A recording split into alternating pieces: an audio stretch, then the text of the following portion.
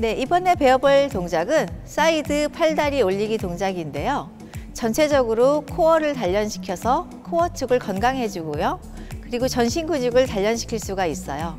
그리고 복부 라인을 어, 허리 라인부터 전체 복부 쪽 라인을 탄력 있게 해주는 동작이니까 여러분들 잘 보세요. 동작을 하기 전에 옆에 도구가 있는데요. 이 도구는 요가 블럭이라고 하는데요. 이 블럭이 없으신 분들은 쿠션이라던가 또는 베개를 활용해서 팔꿈치에 지탱해서 높이를 조절하는 역할을 할 거예요. 이것도 없으시면 그냥 바닥에서 해주셔도 괜찮아요.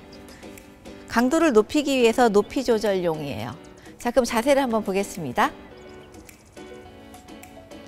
자, 옆으로 내 몸과 일지성상에서 팔꿈치를 지탱하는데 지탱하는 팔꿈치는 어깨와 수직을 유지시켜 주시고 발끝과 머리끝이 일직선이 되도록 해주세요.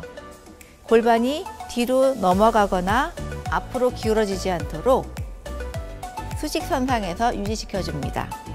그리고 지탱하는 팔꿈치가 목이 들어가서 목과 어깨가 짧아지지 않도록 해주세요. 목은 길게 유지한 상태에서 내 몸의 상체축은 고정해 줍니다. 이 상태에서 자세를 볼게요. 그대로 골반을 들어 올리면서 팔꿈치를 넘겨줍니다. 충분히 이완시키고 다시 골반을 내려줍니다. 팔을 내려주고 다시 골반을 최대한 올려주세요. 천천히 부드럽게 내려줍니다. 위와 같은 방식으로 위, 아래 넘기기 동작을 하고 이번에는 연이어서 동작할게요. 올리고 다리 들어 올리면서 같이 다시 골반 같이 올리고 내리면서 팔다리 함께 교차업. 네, 난이도가 있는데요. 이 동작이 어려우신 분들은 블럭을 뺀 상태에서 수평 지점에서 해주셔도 괜찮아요. 다시 한번 볼게요. 힘드신 분들은 낮은 지점에서 올리고 내리고 올리고 내리고의 동작을 반복해 주시면 돼요. 오케이.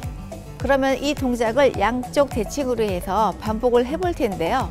난이도가 있다고 포기하지 마시고 되도록이면 정확한 동작으로 할 수 있도록 노력해 보세요.